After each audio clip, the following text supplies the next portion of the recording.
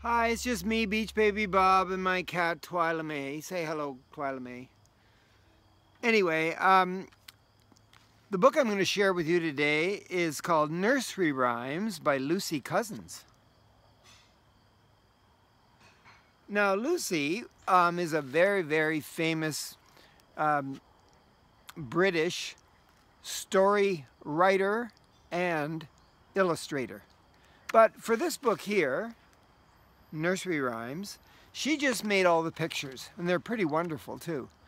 The nursery rhymes, she collected her favorite 16 and put them in the book. Today I'm going to share, from her book, I'm going to share my favorite three nursery rhymes. So I hope you like it.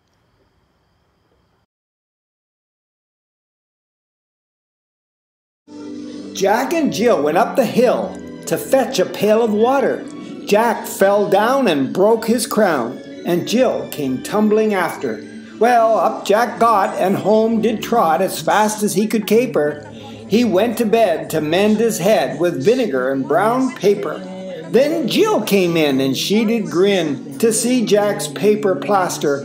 Her mother whipped her across her knee for laughing at Jack's disaster.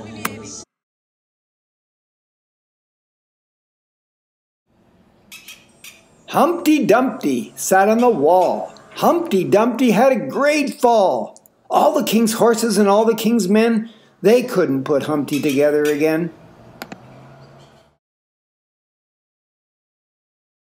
Old Mother Hubbard went to the cupboard to get her poor dog a bone. But when she got there, the cupboard was bare, and so the poor dog got none.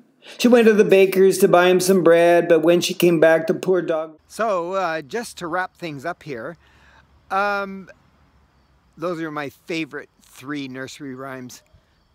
How many nursery rhymes are out there, though? Well, there's hundreds of nursery rhymes. Who wrote them? Ooh, they don't know who wrote them. Well, some people have an idea, but they're not sure who wrote these stories. And what is a nursery rhyme? Well, it's a short little story that um, has a lot of repetition. The words are repeated.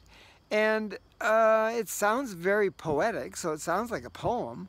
And the nursery rhymes are usually about something very, very famous that happened in history or a famous person. A very famous person. It's a story about a famous person or a famous event.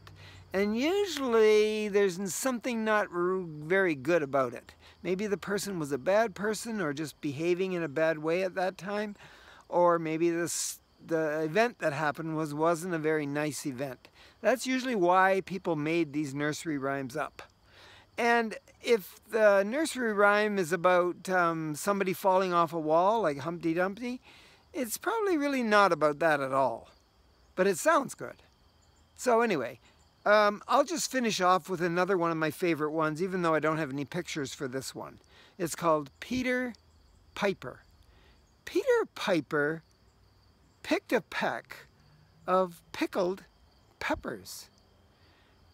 If Peter Piper picked a peck of pickled peppers, where is the peck of pickled peppers that Peter Piper?